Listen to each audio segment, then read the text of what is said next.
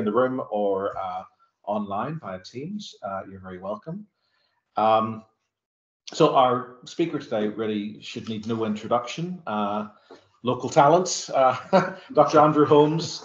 Uh, just very briefly introduce him for anyone who may not uh, know him. Andrew is, is reader in history here in Queen's University Belfast, specialist in the history of religion uh, in Ireland, especially uh, from the uh, late 17th century to the, the present, uh, but most intensely in, in the period of the 19th and uh, early 20th century. Uh, he's the author of, of a number of, of, books, including The Irish Presbyterian Mind, Conservative Theology, Evangelical Experience, and Modern Criticism, 1830 to 1930, published in 2018 and before that, The Shaping of Ulster Presbyterian Belief and Practice, 1770 to 1840, uh, published also by Oxford University Press in 2006. Uh, and most recently, he's been the co-editor uh, of a very large project, four edited volumes. Sorry, he's been co-editor of four edited volumes, but also uh, one very large volume, the Oxford Handbook of Religion in Modern Ireland, which came out with Oxford uh, earlier this year. Andrew's going to talk to us uh, uh, about a project he's currently working on, um, which you can see here on the screen, the Northern Revival, Presbyterians, and the second series of the Ulster Journal of Archaeology, 1894 to 1911. So, Andrew. Thank you uh, very much, uh, Peter, for that uh, generous uh, introduction, and thank you for turning up and for all, the, all, all, those online as well. Um, this is, in some ways, a wee bit of a vanity project because it's going back to um, my experience as a PhD student many years ago, uh, reading through the Ulster Journal of Archaeology um, and finding out all sorts of wonderful things. And with the research last semester, I was able to go back uh, and have a look again at particularly the second series of the Ulster Journal of Archaeology to try to think about uh, the politics of culture that was expressed in that periodical in the late 19th and early 20th century and how that might help us think uh, or rethink perhaps uh, the relationship between um, what was going on in cultural terms and the politics of the north of, uh, of Ireland. So um, to help us sort of like situate ourselves in terms of, of these issues, um, discussion of the Gaelic revival and the Irish Ireland movement in Ulster has concentrated on the small number of Protestants who rejected their unionist and evangelical upbringing and embraced various forms of Irish nationalism and separatism. For Flann Campbell, these individuals articulated the authentic dissenting voice of Ulster Protestants. Most of their Presbyterian co religionists, in particular, had turned apostate by rejecting the Republican separatism of the 1790s to accept instead the bigotry and sectarianism of what he referred to as Tory unionism. Individuals such as Henry Cook Morrow, Gerald McNamara, uh, Robert Lynd, and Samuel John Waddell, Rutherford, Mayne, defined themselves against a Philistine and materialist culture that was a product of Northern prosperity and Presbyterian Puritanism. Coupled with the cultural analysis of Matthew Arnold, their analysis has fostered, according to Norman Vance, crude stereotypes of unionist mercantilist Philistinism, I think I've got that right, dourly practical, unimaginative Northerners and killjoy Calvinists suspicious of literature as of life itself. This analysis was also, I think, importantly shared by culturally aware middle class unionists in Belfast. They believed in the mid to late 19th century that the so called Athens of the North had succumbed to materialism and been transformed by sectarian riots into a modern Thebes. Furthermore, the prosperity of the Northeast was a critical factor in the so called Ulsterization of unionism after 1900. By the time of the formation of the state of Northern Ireland, unionism had, according to Alvin Jackson, been reduced to a northern bourgeois movement, and I quote, with the complex cultures of southern landed unionism now dismissed and isolated. Jackson goes on to say the wholly inadequate governing theme of the new state derived from a celebratory narrative of the 17th century plantation rather than a balancing counterpoint to the motifs of Catholic Gaeldom and Irish Irelandism. The dominant Protestant nationalist in Ulster was Francis Joseph uh, Bigger. The Bigger family originally were from Scotland, and Bigger himself was identified as such by contemporaries and by subsequent commentators. In fact, Bigger was a devoted member of the Church of Ireland, and in 1900 was one of the prime movers in the formation of St Peter's Parish in North Belfast, and later in life was a regular attender at St Anne's Cathedral and St George's in High Street. Bigger was a clearly devoted member of the Church of Ireland and especially identified with its strong antiquarian tradition, most obviously symbolised by uh, Sir Samuel Ferguson. Such was Bigger's public profile that he has been described by Guy Beiner as the quintessential Irish antiquarian of his generation. His name is especially associated with the revival in 1894 of the Ulster Journal of Archaeology, which he edited and is usually mentioned in the context of his cultural nationalism. In many respects, the narrative developed above is accurate and satisfying, yet it is also misleading at certain points. Specifically, it relies upon an inaccurate stereotypes of Presbyterian religion and culture. Most Presbyterians did not rebel in 1798, and those who did had mixed motives that ranged from principled republicanism to the settling of old scores with Church of Ireland landlords. In the century after 1798, Guy Beiner has demonstrated that Presbyterians of all theological stripes took pride in their United Irish forefathers despite the development of Orange populism and Tory politics. The best efforts of Henry Cooke on the screen to convince his fellow Presbyterian evangelicals to make peace with the conservative politics and their Church of Ireland enemies failed as most ministers remained politically liberal and opposed to Anglican ascendancy. The opposition of the Presbyterian Church in Ireland to Home Rule was shaped by a liberal version of unionism that feared the replacement of an Anglican ascendancy in the late 18th century with a Rome Rule version in the late 19th. More generally, the coalition against Home Rule, as Alvin Jackson has pointed out, was held together by a shared commitment to the maintenance of Ireland within the United Kingdom. Apart from that constitutional imperative, it was a coalition divided by social, economic, geographical, cultural, and denominational tensions. Yet the political significance of intra Protestant tensions after 1880 have been underplayed, especially those concerning the land question and Presbyterian underrepresentation in public life. These were articulated by that uh, renegade T.W. Russell and also the Presbyterian Unionist Voters Association and led to often bitter election contest, uh, contests in the Presbyterian heartlands of Antrim and Down between 1898 and 1910. These conflicts demonstrated deep-seated Presbyterian frustration with the Church of Ireland that was as much about class as denominational identity. This talk uh, hopes to challenge the binary interpretation of culturally engaged Protestant nationalists on the one hand and an undifferentiated and uncultured unionist uh, other on the other. It does so by describing the involvement of Unionists, particularly Presbyterians, in antiquarianism and the relaunch of the Ulster Journal of Archaeology. It demonstrates how middle class Protestants from various religious and political backgrounds found in the journal a platform to indulge their share their passion for the historical and cultural complexity of Ulster and Ireland. Focusing especially on Presbyterians, it shows their commitment to excavating Ulster's deep past as an expression of Irish patriotism and provincial pride, but also because of their intrinsic interest in the subject.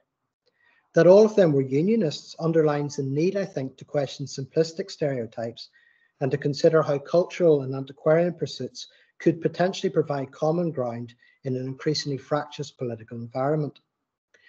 The first part of my talk describes the origins and revival of the Ulster Journal. It places Bigger's contribution in perspective by drawing attention to broader associational culture and the significance of other individuals, most notably his co-editor, Robert McGill Young, his father, Robert Young, and William Swanston. The second section then will consider those who contributed substantial articles to the journal between 1893 and 1911. It introduces contributors from both ends of the Presbyterian theological spectrum who wrote articles on topics ranging in time from the Mesolithic to the contemporary. The final section then highlights the continued tension between Church of Ireland and Presbyterian interpretations of the Ulster past. Significantly, these tensions were not caused by contemporary politics or by the memory of 1798, but Bigger's sensitivity to Presbyterian special pleading at the expense of his own communion.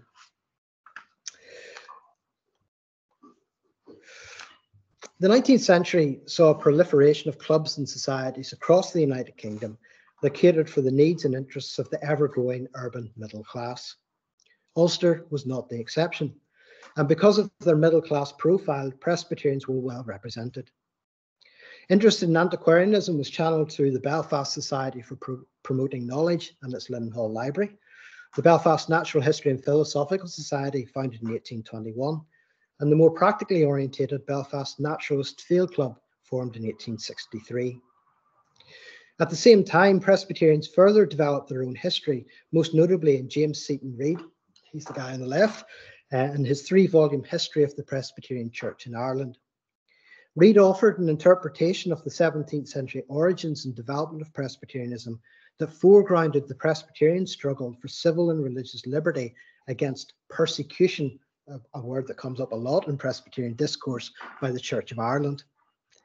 His history was also a powerful stimulus to evangelical reform within the largest Presbyterian group, the Synod of Ulster, that led in 1840 to the creation of the present day Presbyterian Church in Ireland.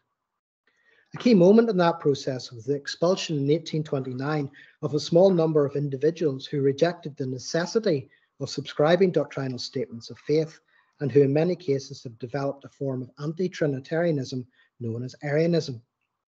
From this tradition of non subscription came the gentleman on the right hand side of the screen, the Reverend George Hill, Minister of Ballymoney and Crumlin from 1837 to 1850, and librarian of Queen's College Belfast until his retirement in 1880. Hill is best known for his published work on the Montgomerys of Grey Abbey, the MacDonalds of Antrim, and the Ulster Plantation. All were based on impeccable research and primary sources, including the recently published Calendar of State Papers Ireland. Reid and Hill were part of the renewal of organised interest in the Irish past around the middle of the 19th century, the most significant product of which was the Kilkenny Archaeological Society. Founded in 1849, this society became in 1890 the Royal Society of Antiquaries of Ireland, and the various iterations of its journal provided an All Ireland forum for antiquarians. The publication in 1853 of the first series of the Ulster Journal of Archaeology was part of this broader phenomenon and aimed to preserve as much of the provincial past as possible from the ravages of modernisation. It was edited from 1853 to 1862 by another non-subscribing Presbyterian, the linguist Robert Shipboy McAdam. In addition to Hill and McAdam, there were articles by the Irish language scholar John O'Donovan, the historians of Belfast, George Benn and William Pinkerton, uh, Father James O'Laverty, author of the invaluable five-volume and historical account of the Diocese of Down and Connor, and William Reeves, a leading authority in early Irish Christianity and future Church of Ireland bishop. All these contributors were name checked in the prospectus for the relaunch of the Ulster Journal of Archaeology in 1894. The second series had the same aim as the original journal, though the urgency was added by the accelerating pace of economic and social change. The journal would provide, according to the contribute, uh, conductors, an outlet for the researches and discoveries of the present race of historical and antiquarian students and would cover a very wide range of topics from the prehistoric remains to the 1798 rebellion.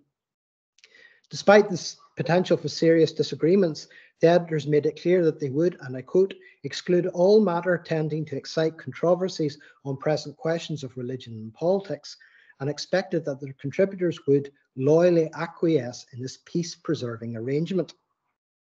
Whatever their religious and political views, contributors could, and I quote, only appear as archaeologists, as sober minded students of the past, whose contributions were expected to be absolutely trustworthy and based on facts gleaned from original sources and through scientific research. The chair of the preliminary meeting to relaunch the journal on the 24th of May 1894 was the Reverend Charles Scott, rector of St Paul's Church of Ireland in Belfast and an authority in early Christian Ireland. Bigger and Scott were joined by their co-religionists Lavens Mathewson Ewart, a wealthy linen merchant. In addition, there were three Orthodox Presbyterians, William Swanston, Robert Young, and Robert McGill Young. All six of the original uh, conductors lived in respectable North Belfast, and the first three meetings were held in Ardrigh, Bigger's um, um, home, Chichester Park, the home of the Youngs, and Cliftonville Avenue, where William Swanston lived. The co-editor of the journal until 1898 was Robert McGill Young, and he was joined on the, on the committee by his father, Robert Young, uh, gentleman in the middle at the top. Both were members of the Presbyterian Church in Ireland, liberal unionists, and principal architects to their denomination. As a young civil engineer in the glens of Antrim, Robert Young was captivated by traditional music. He later donated to the Hall Library his own music notebooks and the minutes of the Belfast Harp Society, formed in 1808. Robert McGill Young was named after his maternal grandfather, the Reverend Robert McGill of Antrim, a staunch Presbyterian evangelical and opponent of the Arians in the 1820s. After graduating from Queen's in 1877, Robert McGill joined the family firm and extended his father's antiquarian and cultural interests, culminating in his election as member of the Royal Irish Academy in 1891, three years before Bigger. He's especially known as the historian of Belfast and had published in 1892, as you see on the screen, the Town Book of the Corporation of Belfast. Joining Young's as secretary uh, of the journal was William Swanston, partner in the linen firm of Swanston and Bones and a devoted member of Duncairn congregation in North Belfast.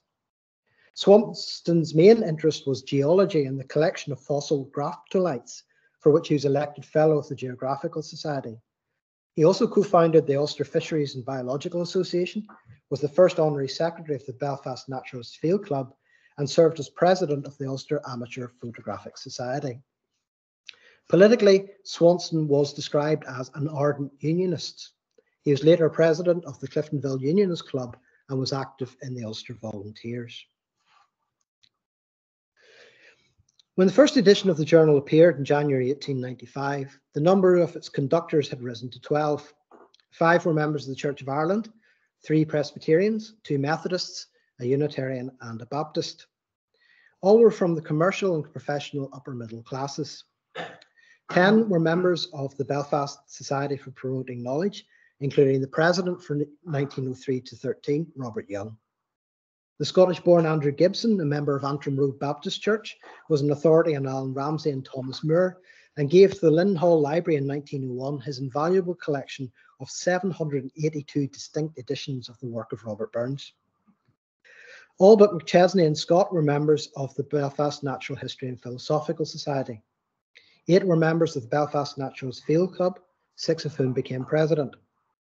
Only Ewart and Swanston were not members or fellows of the Royal Society of Antiquaries, and both Seton Milligan and Robert McGill Young served as vice presidents. Six were elected members of the Royal Irish Academy W.H. Patterson, William Gray, uh, Seton Milligan, R.M. Young, John Vinicombe, and F.J. Bigger. The nationalist Bigger was a prime mover in the Feis na Glen, uh, which was set up in 1904, and was a vice president of the Gaelic League in Belfast when it was formed in, 19, uh, in 1895. So too were the Unionists W.H. Patterson and Robert Young, who was also involved in the 1908 Feis along with Charles Scott.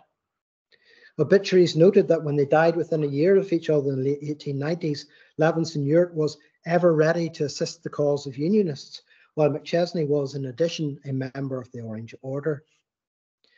Though the father of the advanced nationalist Alice Milligan, with whom he had a loving relationship and jointly produced glimpses of Erin in 1889, Seton Milligan was, and I quote, always a convinced Unionist and spoke warmly about Methodist missionary work in Ireland. Despite the enthusiasm of the conductors, the minute book of the meetings of the conductors show that the journal from the outset faced significant problems. The payment of subscriptions led to the distribution of a circular as early as August 1896 and a plea for additional subscribers in 1900. There were problems with the printers, and three firms would publish the journal during its existence. Marcus Ward and Company to 1898, McCaw, Stevenson and Orr to 1907, and Davidson and McCormick to 1911. Questions over who, who owned the journal were raised in 1898 and 1901, and it was only in 1907 that Bigger was formally recorded as a registered owner with Stationers Hall. These uh, general difficulties were accompanied by tensions between Bigger and Robert McGill Young. In 1895, Swanston noted that Bigger's name had been placed before Young in the first published volume. Bigger said this was simply because lists were to be alphabet alphabetized, but the unanimous view of the conductors was that this did not apply to the editors and that Young's name should be placed before Bigger. In the same meeting, Young also expressed dissatisfaction that Bigger had not submitted articles in editorial matter to him and was, and I quote, in some measure ignoring the joint editorship. Bigger, in response, regretted that Young should, and I quote, feel slighted and denied any intention of ignoring him.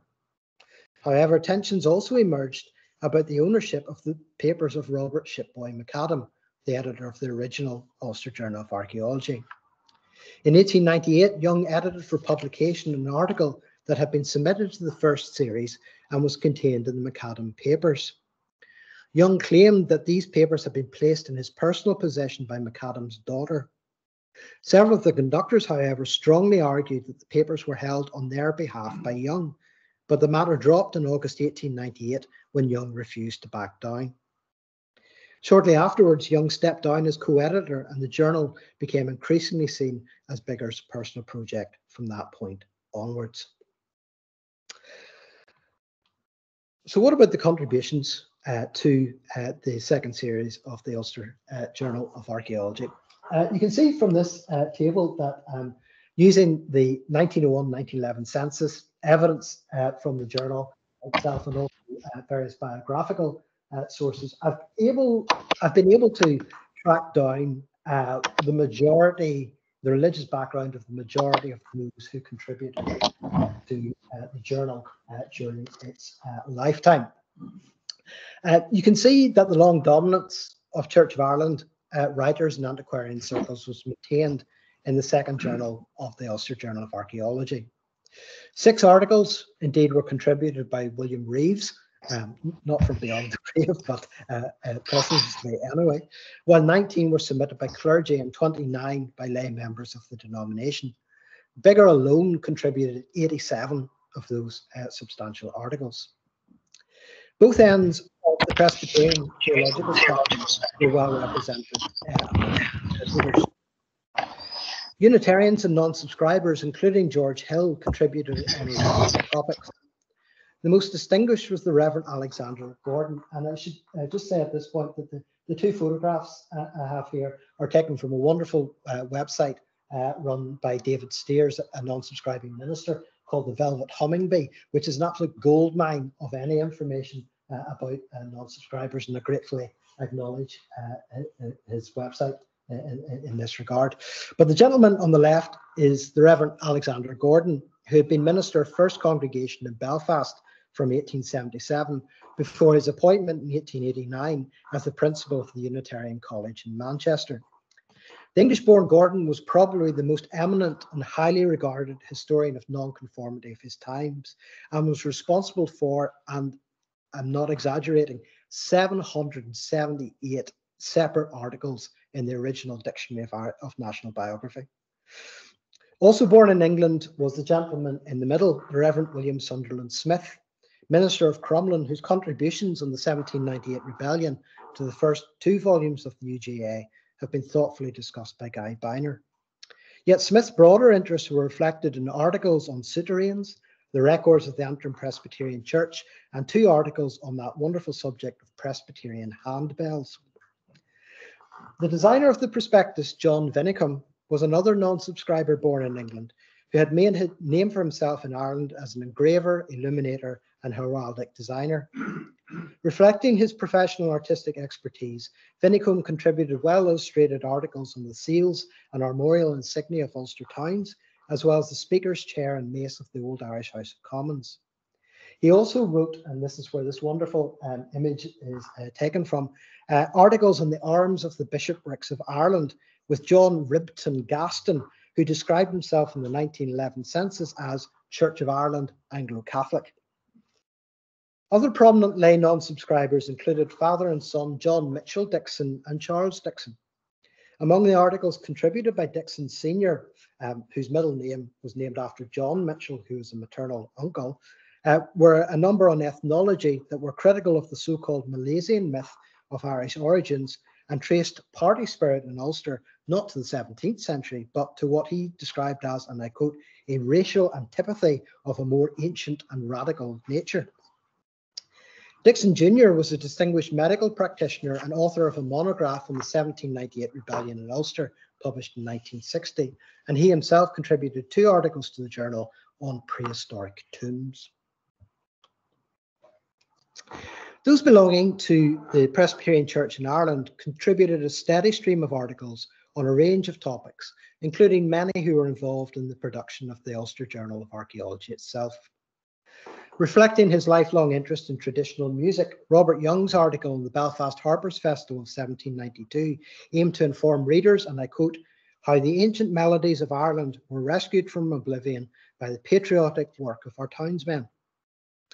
The printer, inventor, antiquary, and author John Stevenson published the journal between 1900 and 1907 as one of the proprietors of McCaw, Stevenson, and Orr.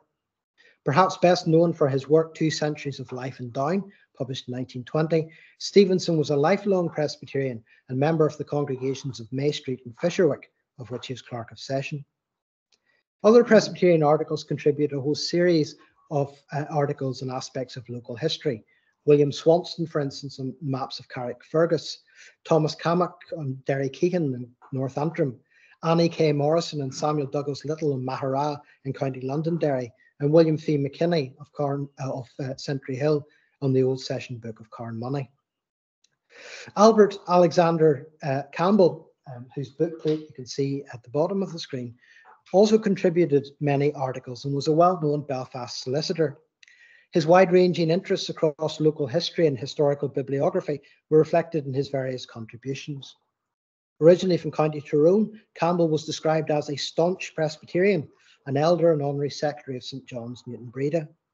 He was a founder member of the Bibliographical Society of Ireland, as well as a member of the Belfast Natural History and Philosophical Society and governor of the Linen Hall Library. As honorary secretary of the Belfast Naturalist Field Club, he is responsible for the launch in September 1925 of the Irish Naturalist Journal and an official history of the club published in 37. Campbell's interest in historical bibliography was shared by William Clark Robinson, um, whose uh, work you can see on the right hand side. He contributed an article on the Ulster novelist James McHenry. Educated initially in Belfast, Robinson went to Bonn to study German literature and language in the same class as the future Kaiser Wilhelm II. He was lecturer at the University of Durham and Kenyon College, Iowa, before returning to Ulster, where he published British Poets of the Revolution Age in 1900 and also a collection of poems, Antrim Idylls, published in 1907. He was a member for many years of Carnlough Presbyterian Church and was also an ardent Orange uh, Orangeman. Representing the Reformed or Covenanting tradition was the Reverend Samuel Ferguson, a minister in Derry and grandson of the late 18th century radical, the Reverend William Staveley. Fer Ferguson's article on the Norman fort of Greencastle in Inishowen was part of his significant contribution to the history of Derry and its surroundings. Indeed, Bigger praised Ferguson's 1902 lecture on the waterside area of the city as something of a model antiquarian paper, and I quote, learned, broad minded, unbiased, and free from taint of bigotry. Another 13 articles were contributed by John Johnson Marshall, a native of Tyrone, who is a drapery buyer for Robinson and Cleaver in Belfast. Marshall published in the local history of both locations and was an authority on the history of the valley of the River Blackwater. He also contributed a series of articles, which you can see extracts from on the screen, in 1904-5 on the dialect of Mid-Ulster. He hoped that his um, uh, articles would show the twofold origin of the dialect in, and I quote, the native Gaelic and the lowland Scottish speech of so many of the plantation colonists. In comparison to the other provinces, Ulster's speech was, and I quote, more abrupt and decisive, taking its tone from the character of its people. This earnestness and sincerity of character, at least that's the positive spin on it, led to a tendency to clip letters or syllables where possible off words. As an example, Marshall noted the treatment by Ulster people of the terminal G, which he seems to regard as altogether unnecessary and superfluous, and to be omitted whenever possible from his coming into the world till his dying day. Marshall hoped to create a dictionary of the Ulster dialect that would unite the inhabitants of Ulster at home and overseas, and I quote, through whose veins courses the mingled blood of the clansmen of O'Donnell and O'Neill, the adventurers of the days of Elizabeth, who sought their fortune in Irish soil, and the Covenanter, who le whose left hand held the Bible and his right hand the sword. This proposed work would be, and I quote, a fitting record of their mingled blood and speech. Marshall's attentiveness to a distinctive Ulster identity that encompassed the religious, ethnic, and social variety of the province has, I think, certain affinities with John Hewitt's mid 20th century regionalism.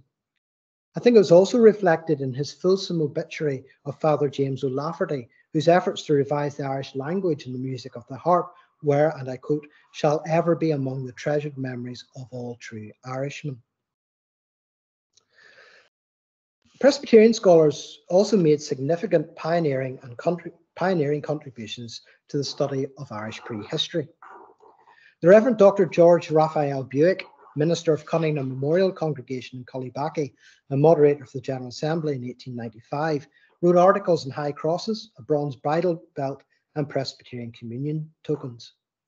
When he died suddenly in Damascus in 1904, the Northern Whig described him as, and I quote, one of the most accomplished and patriotic sons of Ireland.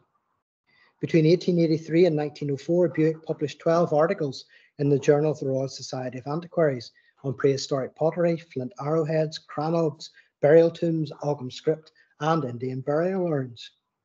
He's elected a member and later fellow of the Royal Society of Antiquaries and was awarded an honorary doctorate from the Royal University of Ireland. Buick was also a published poet, and his poems about St. Patrick, according to the Whig, were marked by beauty of style and high toned patriotism. For Dr. Buick was an ardent lover of his native land and did much to further her best interests. Buick's patriotism extended in 1894 to his appointment as vice president of the Belfast Gaelic League alongside Francis Joseph Bigger, W.H. Patterson, and Robert Young. The obituary of this esteemed and eminent antiquary was written for the Ulster Journal by another Presbyterian archaeologist, William James Knowles. A land agent for the Casement estate in North Antrim, Knowles made substantial contributions to the study of Irish prehistory through the classification of Neolithic flint, as well as identifying the porcellanite axe factory at Teeve near Cushendall. Knowles, according to the Dictionary of Irish Biography, excavated more carefully and documented, documented his finds more methodically than other antiquarians at the time, and was responsible for the publication of 70 papers in learned journals. As a consequence, he was elected member of the Royal Irish Academy in 1883 and was fellow of both the Royal Society of Antiquaries and the Royal Anthropological Society. At his death in 1927, uh, he was described as the father of Ulster antiquaries. Knowles' 11 articles to the Ulster Journal consider topics such as funeral pottery, worked flint, leather objects, domestic utensils, stone axes, crannogs, spindle whorls, and souterrains. An important feature of many was the additional information he provided about how prehistoric items were utilized by subsequent generations. For instance, Knowles noted how many work, how worked flint was used by cow doctors on cattle who had been harmed by elf shot a similar purpose was made of polished stone axes known locally as thunderbolts.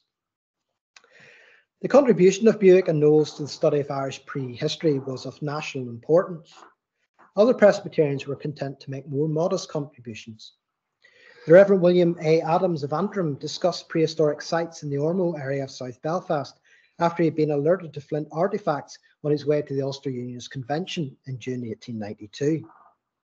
Joseph Skillen, manager of the Phoenix Weaving Company in Ballymena, contributed articles in Kells Abbey and the Tomb of the O'Haras.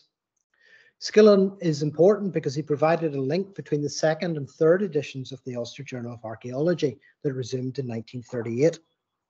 At his death in 1954, Estyn Evans described Skillen as one of the founders and strongest supporters of the journal, a loyal friend who in many ways seemed to me to personify Ulster, Indeed, there is even a facial resemblance to Lord Carson. Presbyterian contributors surprisingly had a lot to say about the early modern history of Ulster, including Joseph William Kernohan, a founding member and honorary secretary of the Presbyterian Historical Society of Ireland, librarian of the Presbyterian College Belfast, and a prolific journalist. Yet the most con uh, notable contributor in early modern topics was the Reverend William Thomas Latimer. Latimer was minister of Eglish congregation in County Tyrone and was described by Albert Campbell as the historian of Irish Presbyterianism.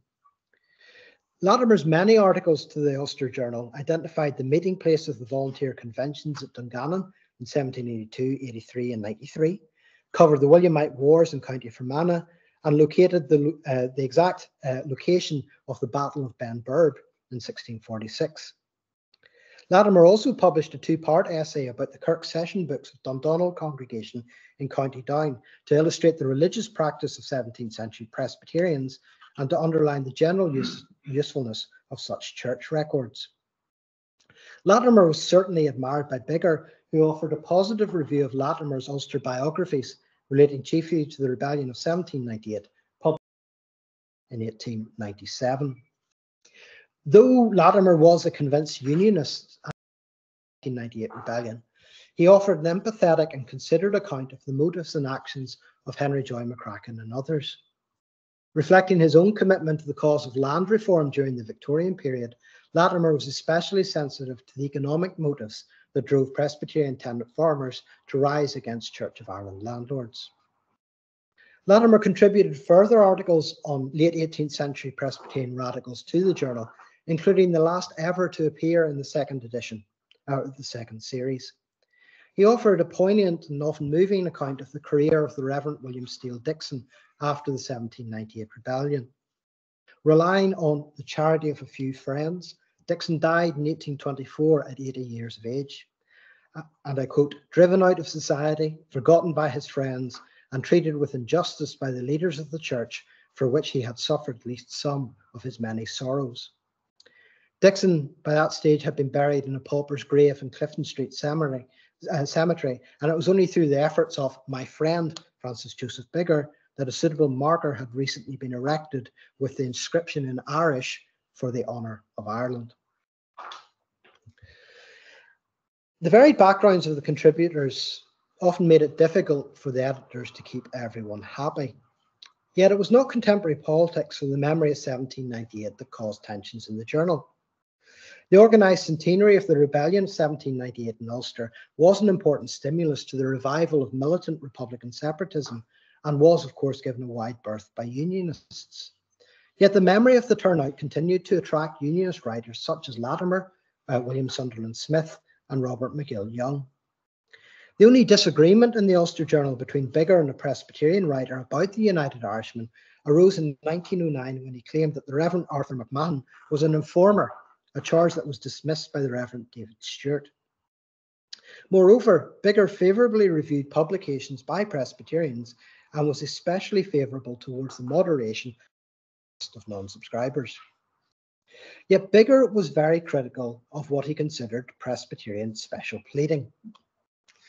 For instance, he objected to two supplementary chapters in Professor James Heron's 1898 study of the Celtic Church that rejected the claim of the Church of Ireland to use that title as well as apostolic succession. According to Bigger, these were a mere wrangle about modern trifles that might have been better left for a sectarian magazine and not included in what was otherwise an excellent history. Bigger was also critical of Charles Hanna's two volume The Scots Irish, published in 1902 and I quote, We have no stomach for swallowing half the incredulous stories that are told of this somewhat mythical race. He asked his readers not to romance about this plantation of Ulster and rave about persecution and covenanting forefathers as if we were all seeds of the martyrs. Presbyterian immigrants, he claimed, were not angels nor even martyrs and were often ruthless in their pursuit of gain. Bigger recognised that these claims may be unpalatable, but true self knowledge was, and I quote, better than licking jam all the time. The main target of Bigger's ire was Latimer and his Presbyterian perspective in Ulster history. Bigger's criticism appeared for the first time in 1900 in a review of Latimer's history of Second Donaghadee congregation. Bigger was, and I quote, tired of the systematic groaning about suffering for conscience sake so frequently indulged in by certain denominational writers. All churches, he pointed out, had experienced hard times, and I quote, but why such comparatively trifling matters should be ceaselessly, ceaselessly construed into persecution is hard to comprehend. Better let such bygones be bygones. Bigger admitted that raising this issue verges on controversy, though he did so in all, he did so in all good faith and with the best of intentions. Significantly, Bigger had sent to Latimer a version of this review prior to publication, and Latimer stated that he personally did not object to it, though he considered that the journal was strictly non-sectarian. Within a year, Biggars renewed his criticism of Latimer after he had published in the Northern Whig an article with Blood's Plot of 1663, in which a number of Presbyterian ministers were implicated. Bigger was especially annoyed about Latimer's criticism of Bishop Jeremy Taylor and claimed that conspiracy to overthrow the government of George II was extensive amongst Presbyterians. Extending his critique, and I've put up here the full quotation because it's actually quite cool. I'm thinking of putting this on my tombstone because um, I think it, uh, it's, it's, quite, it's quite nice. Bigger claimed that he had grown weary of this class of local religious history that had begun with James Seton Reid. In Bigger's opinion, and this is the good bit, a historian of the Presbyterian body need not necessarily be one with an anti episcopal brief in one hand and a muck wreck in the other, vilifying and abusing his opponents all the time, or else picking out all the personal calumnies of centuries. Latimer submitted for publication his own um, submitted for publication a response to this review that duly appeared in April 1902. Latimer was clear that Bigger was free to have his own opinions, just as he had a right to his own uh, with regard to their position and principles. But again, and I quote, he said, I consider the journal is not the place to discuss questions like these, which may run into theology or politics. Latimer considered it perfectly legitimate to employ the facts to defend his position and was confident that the new edition of his history would accord with these. While this controversy was rumbling on, Bigger criticised on the grounds of bad taste Latimer's republication of Presbyterian Church records. In a review of the second part of Latimer's article in the Templepatrick Session Book in the Journal of the Royal Society of Antiquaries in 1901, Bigger could not hide his disgust at laying bare the sins of our forefathers exhibited in the cases of Sabbath breach, sexual misconduct, and drunkenness brought before the Kirk session. The system of church discipline he described as tyrannous and disgusting in the extreme, and a superficial reader could only conclude that, and I quote, every home in Ulster in 1649 was far from moral. Moreover, the descendants of many of the unfortunate delinquents still lived in the Templepatrick area. As a consequence, this form of local history would, and I quote, have a new charm for the scandal monger, monger and afternoon tea gossiper, and added piquancy would be given to life in the Templepatrick village circle, and the fresh shame of, yes- shame of yesterday will only be, in a literal sense, history repeating itself.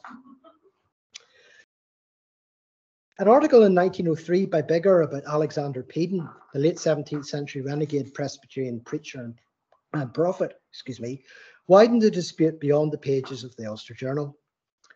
Bigger concurred with Sir Walter Scott's unflattering description of the character and actions of Covenanters like Peden, and that the authorities had, and I quote, ample excuses for their severe measures. Peden was described by Bigger as a raving fanatic and a regular maddie. The Northern Whig was not impressed with this wholly irrelevant article. Bigger's criticisms of Peden and the later Covenanters, as well as his attempt to excuse the brutality of the authorities, are, and I quote, statements whose interest lies solely in the likely throw on the mental attitude of the writer and his respect for the deepest religious feeling of a large section of the Scottish people and their descendants in Ulster. The Whig had always supported the Ulster Journal, but, and I quote, if they expect to succeed in their task, Future and present subscribers may reasonably ask for some assurance that they are subscribing to a journal of archaeology and not a magazine of sectarian controversy. The Witness newspaper, semi official organ of the Presbyterian Church in Ireland, took particular exception to the difference between the statements made by Bigger and the declared aim of the conductors to run the journal on lines that were non sectarian and non political. It was, according to the witness, exceedingly bad taste for the conductors to employ the journal to glorify one church and to abuse another. This was echoed in the Irish Presbyterian magazine, which stated that Presbyterian subscribers were owed, and I quote, a public apology for the offensive tone, uh, tone assumed by the journal recently and a promise of amendment in future. Bigger did not apologise, and in 1904 caused further controversy in a three-part article on Sir Arthur Chichester that included a discussion of the Island Magee massacre of January 1641, which had long been a staple of Catholic histories of the period. Bigger questioned the claim of Protestant writers that very few Catholics had been killed and that those who carried out the killings were not members of the regular Scottish army. Writing in the Northern Whig as fair play, Albert Campbell, who as we know contributed to the journal, rhetorically asked, and I quote, why Mr. Bigger revives this ancient slander? Is it because any stick is good enough to beat the Presbyterian dog with? This began a public exchange of correspondence that continued into August 1904. An exasperated Campbell observed in May that Bigger had, and I quote, not attempted any defence of his travesty of history and asked his readers what they were to think of, and I quote, a writer who places before the public garbled history and when brought to book has neither the grace to apologise for offensive conduct nor the manliness to confess his lack of any real knowledge of the historical subject on which he wrote. Bigger's defence in the July edition of the Ulster Journal brought forth a lengthy response from Campbell, who maintained that Scottish Presbyterian soldiers could not have carried out the massacre as they only arrived in April 1641. He also referred to, and I quote, the anti Presbyterian tone which has recently characterised the Ulster Journal.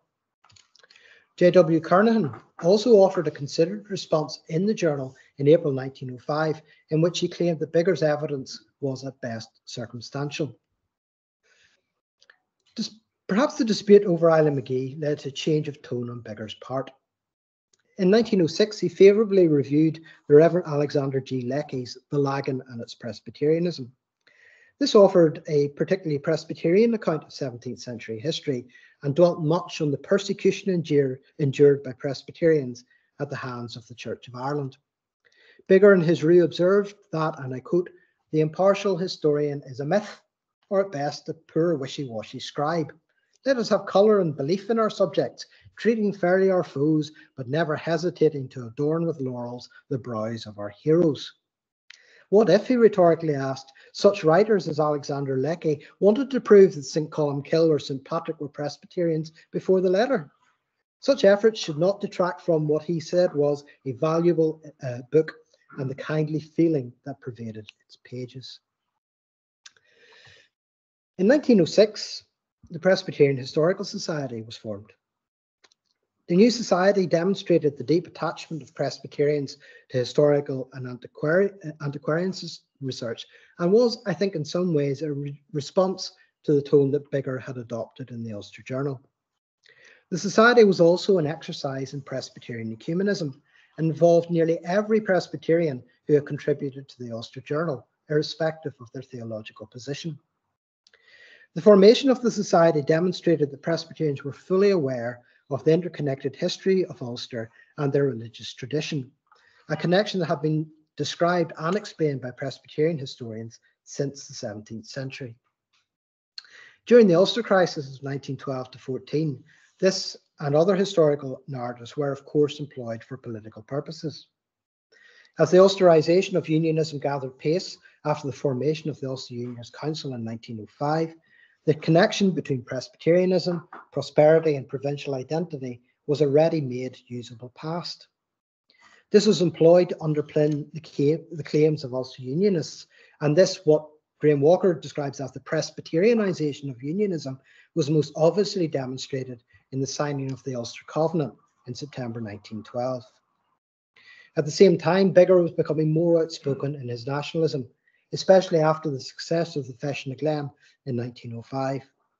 In January 1907, for instance, he caused controversy when he used a public lecture at the Linen Hall Library on the Hills of Holy Ireland to criticise English interference in Ireland. Yet the impact of polarisation on the cultural life of middle class Northerners, I think, can be overplayed. The Ulsterisation of unionism and the formation of the Presbyterian Historical Society did not stop Presbyterians from contributing to the Ulster Journal. The fact that Latimer contrib- tr- contributed the last ever article and on a Presbyterian United Irishman, I think is significant. Nor did it erase the Irish patriotism of Presbyterians such as W.J. Knowles, the Youngs, and George Buick, whose interest was heartfelt and long standing. The retrenchment of cultural life in the two Irelands after partition was obvious, yet it did not end the cultural pursuits of enthusiastic amateurs. John Stevenson's valuable Two Centuries of Life and Down was published in 1920. Campbell relaunched the in journal, uh, in-house journal of the Belfast Naturals Field Club in 1926, and Joseph Skillen was involved in the formation of the third series of the Ulster Journal of Archaeology in 1936.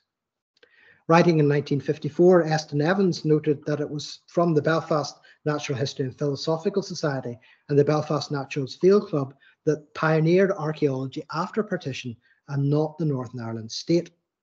The pioneers of scientific archaeology, as he called them, were people like Skillen, linen merchants, civil, surgeon, civil servants, engineers, doctors, teachers, university lecturers, and indeed clergymen. The priority of the Unionist government to maintain unity in Northern Ireland did produce what Alvin Jackson refers to as a deadening conformity but this was alien to many Presbyterians who continued to criticise Craig and his ministers for failing to take seriously their concerns and their grievances. Even in the midst of polarisation and sectarianism of this period, I think antiquarianism and local history could bring together individuals from a variety of political backgrounds.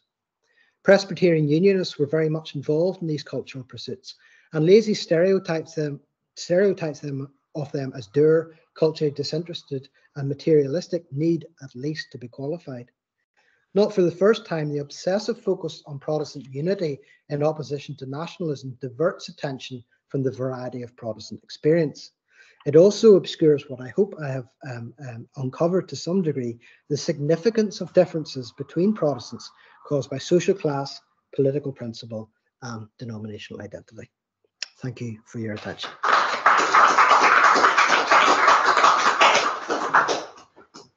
Andrew, thank you so much for that. Lots to get our, our teeth into uh, there. Um, so, opportunity to ask questions. Uh, people in the room, just raise your hand. Uh, people online, if you'd like to ask a question, raise your hand electronically or type a question into the chat box. Um, let's start with the room. Anyone like to start? Good questions? Yes. Uh, was the periodical always in um, some sort of financial uh, straits? Generally speaking, yes. Um, the very fact that they had to remind subscribers to pay as early as 1896 um, was, I think, important. Um, you can also see it in terms of the number of articles published in each of the volumes. It does go down. Um, the fact that they had to, um, well, Marcus Ward itself collapsed in 1898, and then it went to McCaw, Stevenson, and Orr who were a much more profitable business. But by 1907, they weren't making anything out of it, so they gave up at that point. And then you had the third, um, uh, Davidson McCormick coming in. So yeah, financial problems were always were always in, in the background. Did founders dip into their pockets? Is that how the ongoing funding was, or it was it purely they, they left it that uh, subscriber revenues would would purely finance it? It's it seems it seems to be the case that they're relying upon subscribers. Um, there um, there was a big turnover in the conductors of the journal in about 1901, 1902. Uh, and a lot of that had to do with certain contributors not um, giving extra money to the journal. And others who were involved in it thought you're a bit lukewarm, you know, on your way. Um, you know, so I, I, I suppose in, in many ways, the remarkable thing about the journal is that it actually produced 15 volumes. Um, and in, in many ways, that is Bigger's energy, you know, that does that. But it's also a reflection of the fact that the, the topics discussed were, were popular enough amongst middle class people in the north of Ireland in general that they were willing still to contribute to it. And those people came from, you know, almost every uh, part of the political and religious spectrum in the north of Ireland.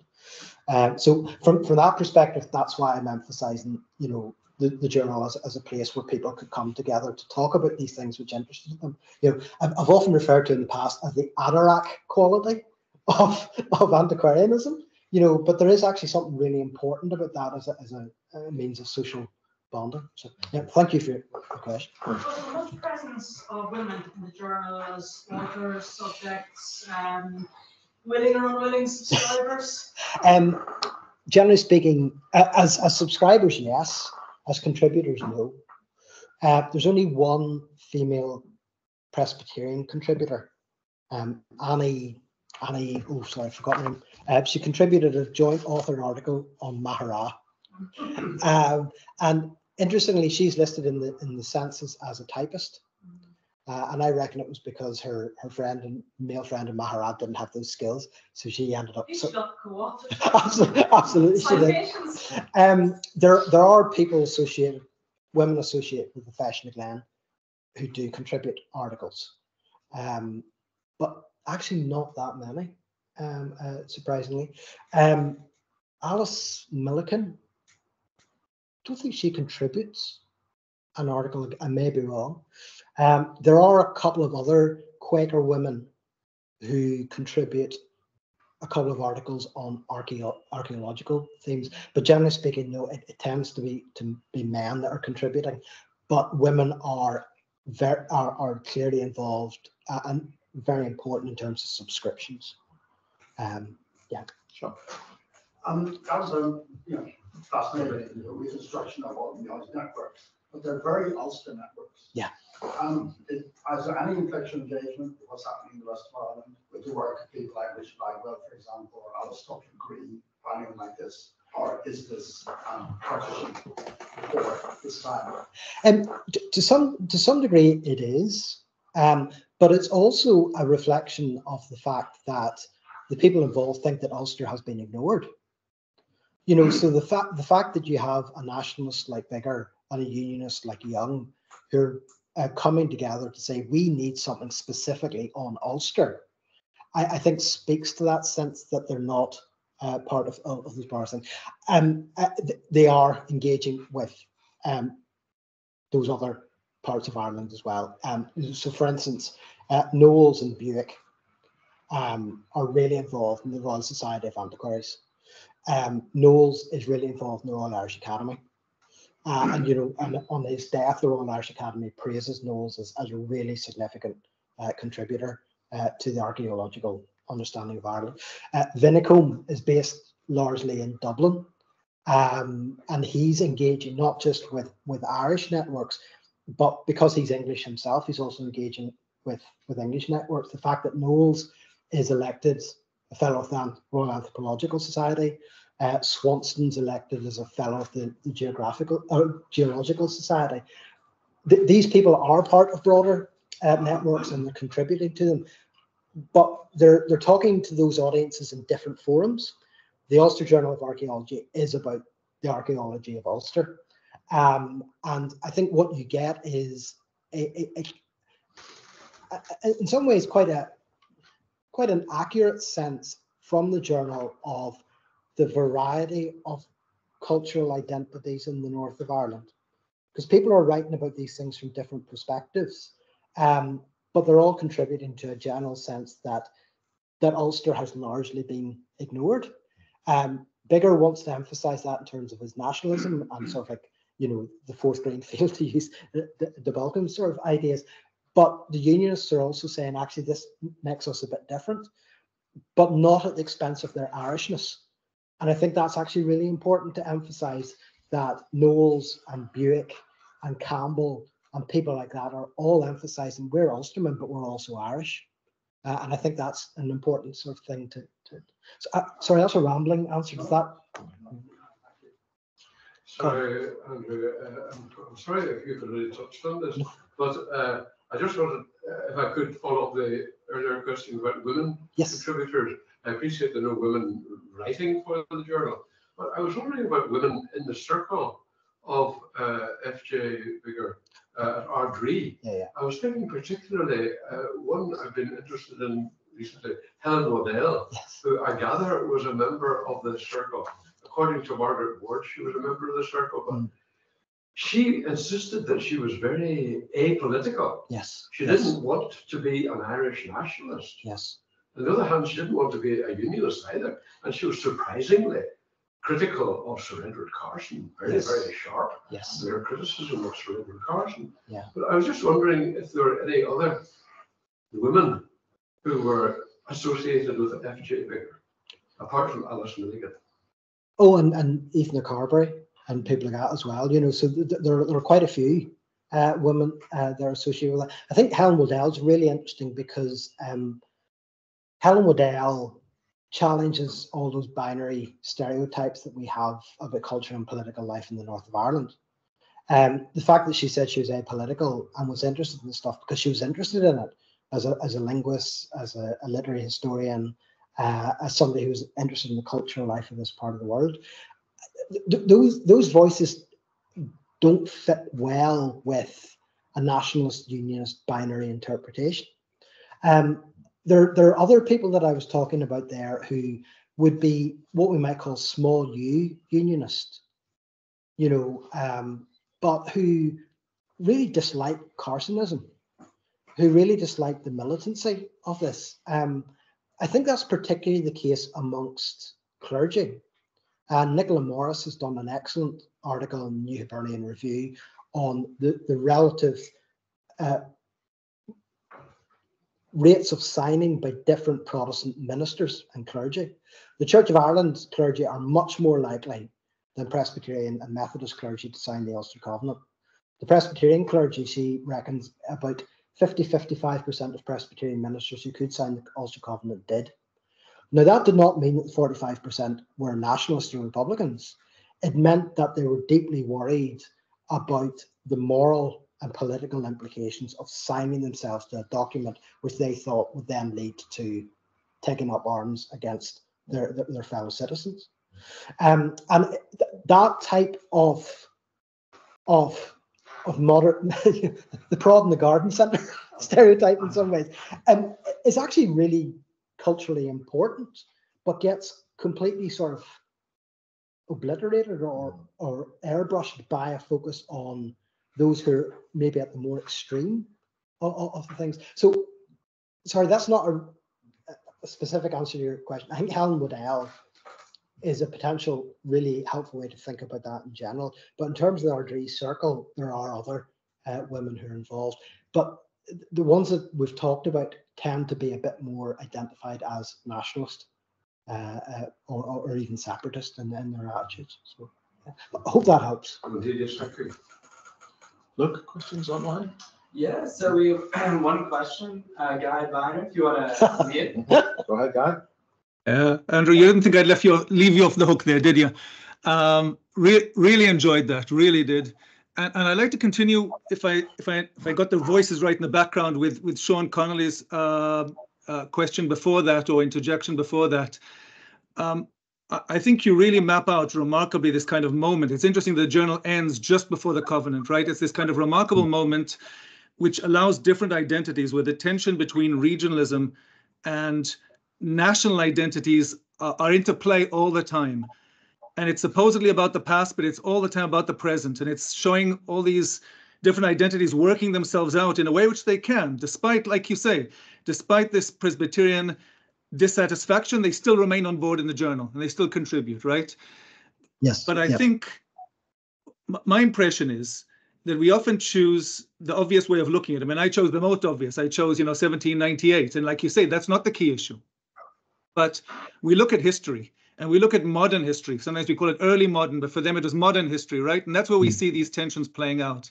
But if we want to take them seriously on their own account, and you've given a lot of pieces for that, a lot of kind of trails to follow, we need to take them exactly at archaeology, at natural history, at ethnology, at all these Yeah. other interests, and see Yeah. how the politics play into that. It's a bit more subtle there, right? It's a bit more difficult. With history, it seems to be obvious. It's the obvious narratives. You go back to Island Magee and you go back to kind of obvious cases.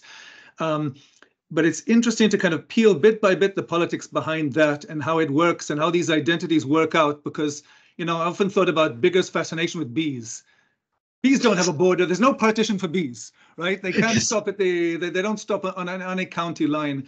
And, and it's this kind of notion of how they work out their identities, looking at how regionalism works out.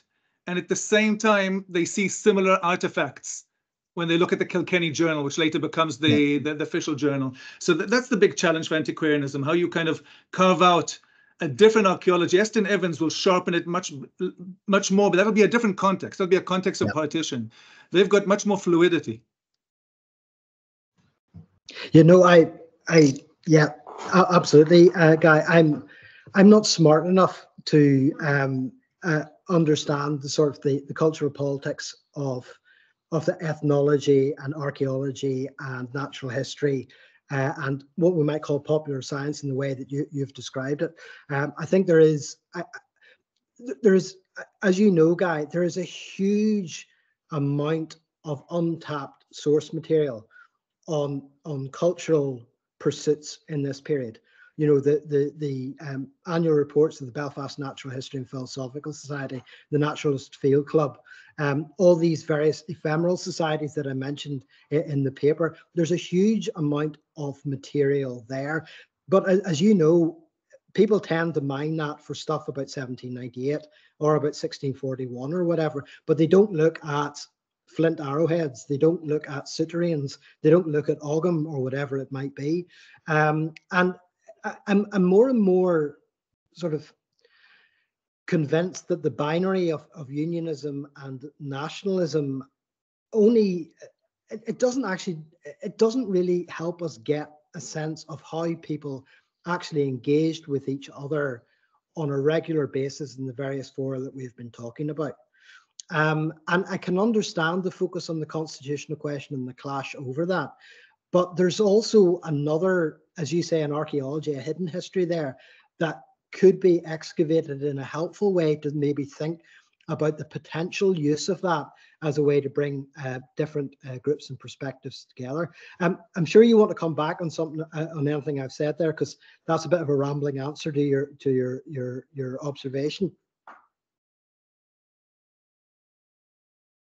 I, am I'm okay. I'm okay. I'm okay with that. I'm, I'm, I'm, I'm okay because that's exactly the direction that needs to be explored. It's these people, and it relates also to the question of women as well, or kind of these passive yeah. voices, but they're around. It's all these different societies. Part of it, I found the reason to, to if I if I recognize the voices right there, because I can't see the audience. Um, Marie Coleman's question about about women is a pertinent one, but it's also this kind of Victorian Edwardian norms which allow which permit women to participate in debates. They can't even read papers at these societies. They have to be read by a man. That has always surprised me. And so, you know, the, exactly the typist, you know, the, the author becomes a typist. You know, yes. it, it's this kind of notion that the, you have to find a category which is acceptable by these kind of uh, gender norms. But they're all members of all these different societies, and they these multiple identities is part of this fluidity.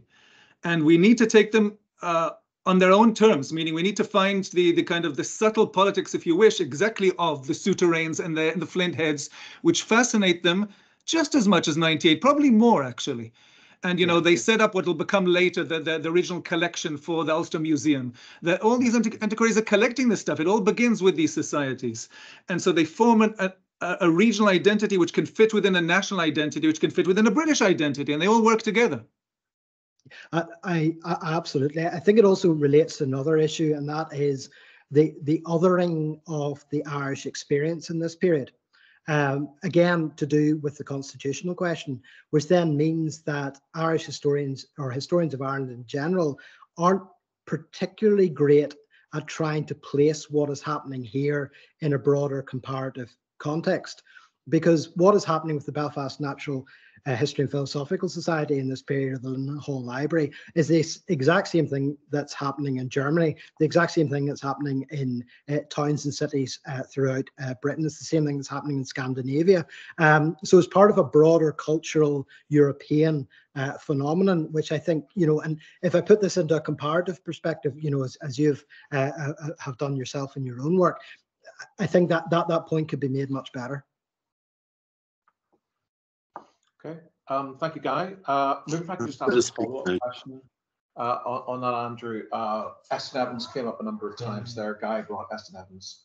uh, up as well. Um, obviously, he's a kind of central foundational figure in in uh, the, the the institution in which we're in today. I will not speak Um, elephant. And uh, I, I can't remember which year he's appointed to, to Queen's, but it, it's the mid 30s. I Mm. think he comes as, as the first lecturer in, in geography.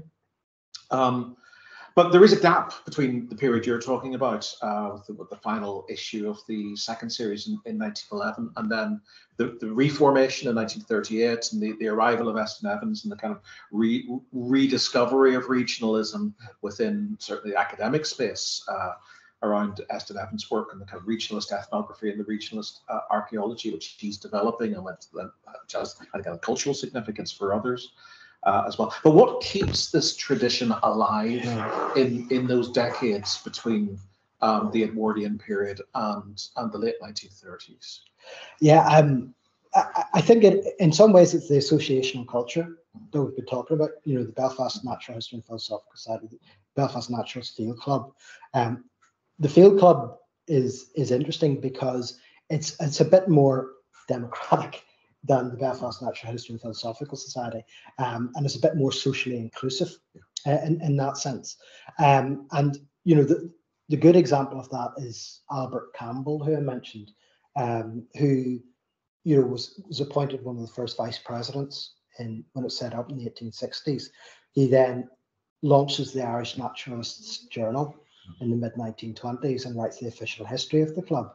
Like there is a guy who sort of is interested in this throughout that period, and he's connected with these various uh, associations and societies, um, some of which are quite ephemeral, but which are engaging roughly the same type of people in a common uh, pursuit, which is why Evans then, when the Ulster Journal is reanimated in 1938, he talks about how the Northern Ireland state has got nothing to do with this. It's got to do with the linen merchants and the, the, the clergy and the university lecturers who are interested in this, who have kept that flame, if you want to put it that way, alive.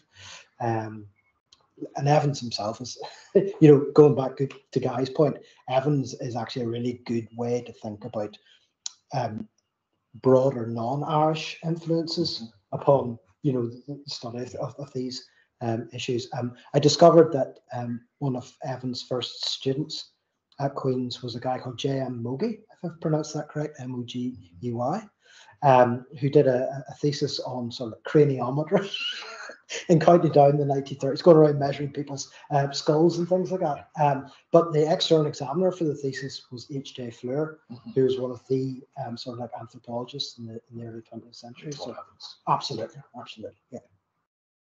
Liam? Uh, thank you, Andrew. Good to see some quantification within the paper. Every now and again, I try, Liam, I try. Um, two unrelated questions. One, antiquarian tales, sometimes negative connotations in the 21st century. Do you want to elaborate a little bit on what it meant at the end of the 19th century? And the other unrelated question is, did the Cruithin controversy or myth feature in any of these um, journals? Um? Uh, to take the, the second part first, um, there are references to it in J.M. Dickson's articles in Irish ethnology. Um, um, yeah, so I'm aware that there are references. It's not extensive, but it is, but it is there.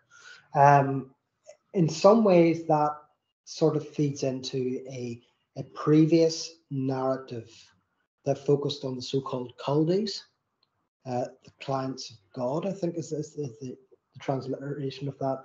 Um, sort of a sort of the what the Celtic Church was like, and what Columcille and people like that uh, were associated with. Because for Presbyterians, that was a way to try to link Presbyterianism as it developed in Scotland and Ireland back to the early Celtic Church. Uh, you know, so there there have Presbyterians in Ireland trace their origins back to the 17th century, but there's always quite a strong tradition amongst Presbyterians in Scotland and Ireland about trying to trace that back further. And the Cruithin, the and things like that are part of that possibly alternative tradition. uh, with, within Presbyterianism. So, sorry, that's a long-winded way of, of addressing your second point. The first uh, point was about Oh, how someone at the end of the nineteenth century would have yeah, yeah, um, understood the term antiquarian. yeah. I, you're right. Antiquarian is a pejorative now.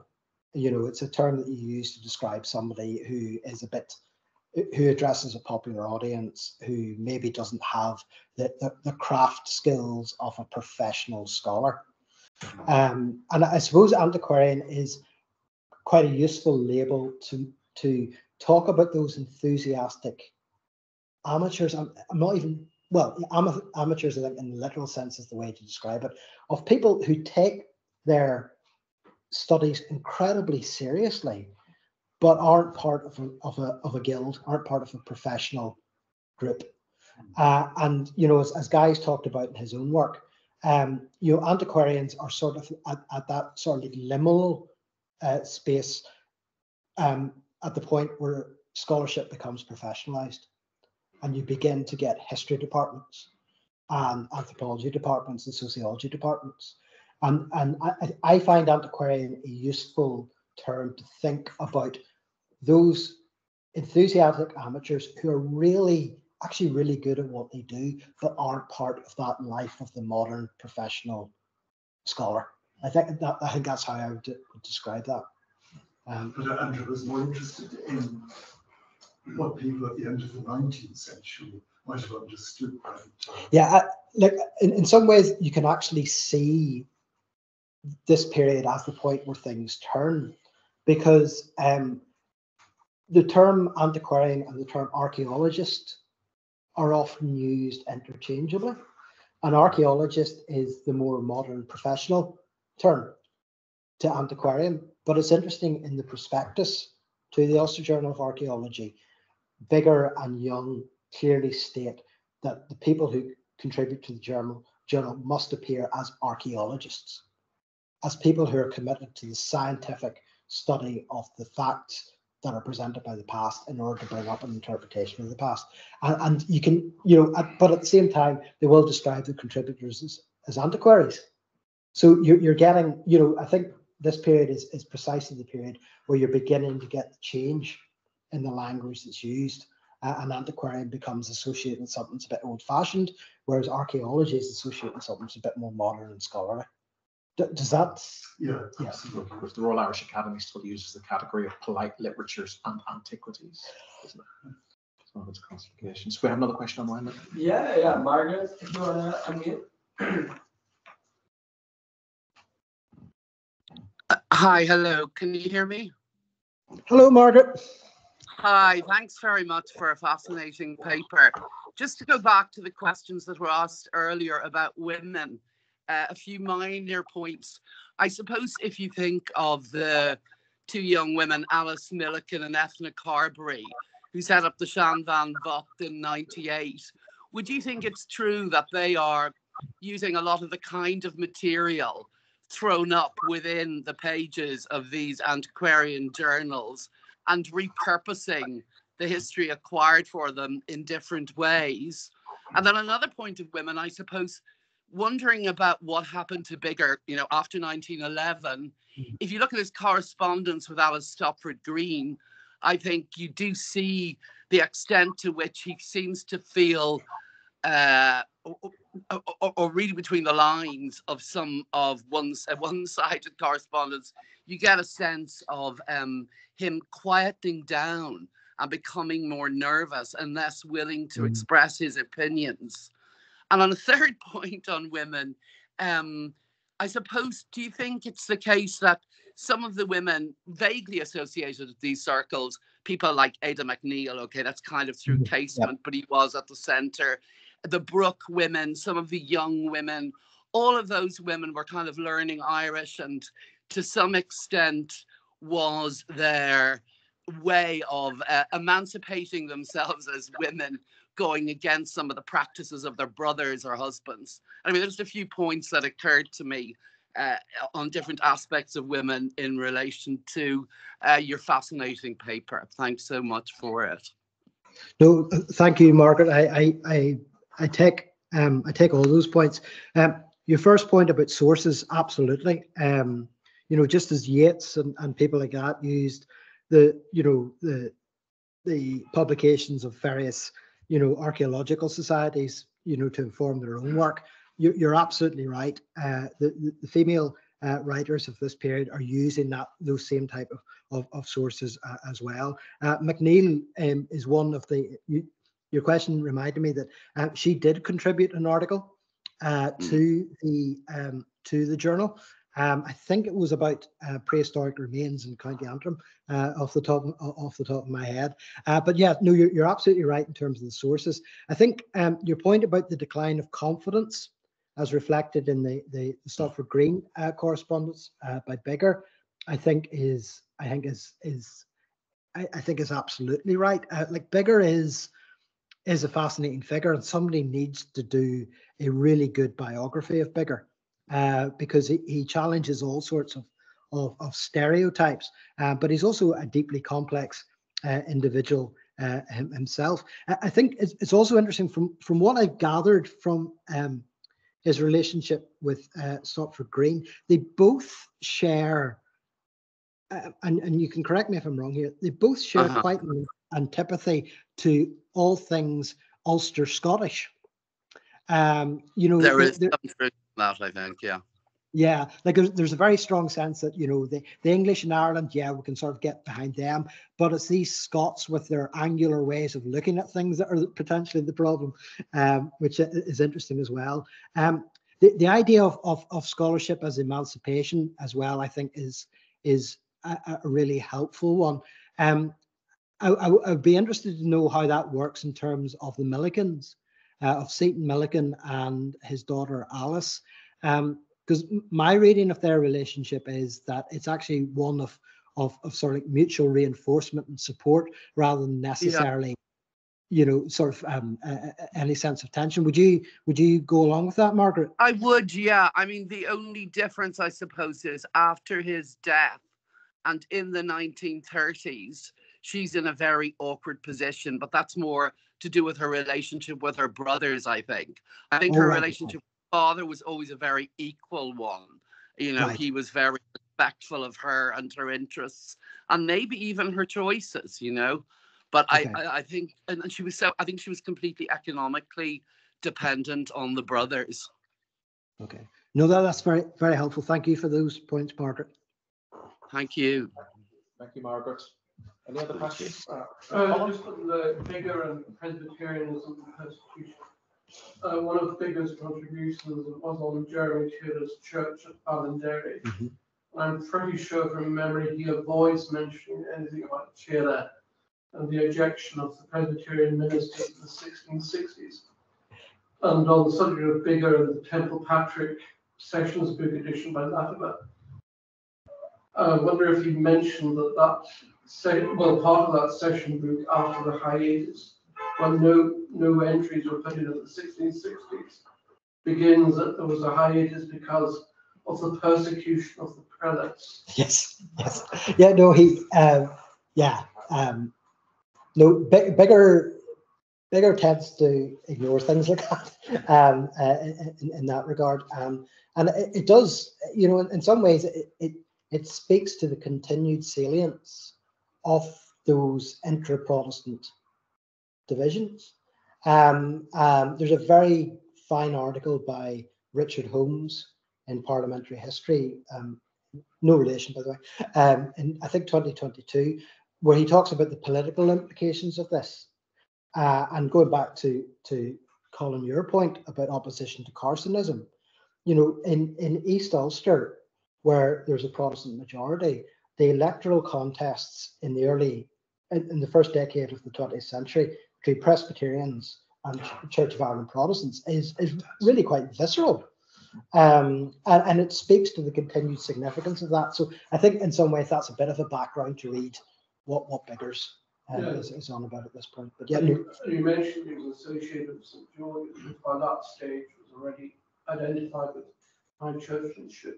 Yeah, it, it, I, am interested in that because Margaret's point about him losing confidence, yeah. there is, I'm not entirely sure what happens to to Bigger because he is one of the prime movers in the formation of St. Peter's Yes, in North Belfast. Uh, but then he sort of like disappears in 1909, 1910. And then the next I can trace of him is he's attending St. Anne's and St. George's in the 1920s. And I'm not entirely sure what happens to him in between because there's there's an odd reference in the Irish Presbyterian to Bigger's change of ecclesiastical home, Hmm. which might suggest that he might possibly have been attending a Catholic church. yes. I don't know. I don't know. Um, that's why we need somebody to write a biography of Francis Joseph Bigger. I'm not that person. So St. Peter's back around Boston. yes, absolutely. Yeah, excellent. Yeah. Great. Any other questions? No, anything else online? Luke? Yeah, yeah. Right. Well, thank you all v- very much. It's been a really interesting session. Uh, can we thank Andrew for sharing his fresh research with us today? We look forward to seeing it published in sometime in the future. In the Ulster Journal. Absolutely. We're, be- we're better than that. It's not an appraisal. Peter. It's not an appraisal. Thanks very much, everyone.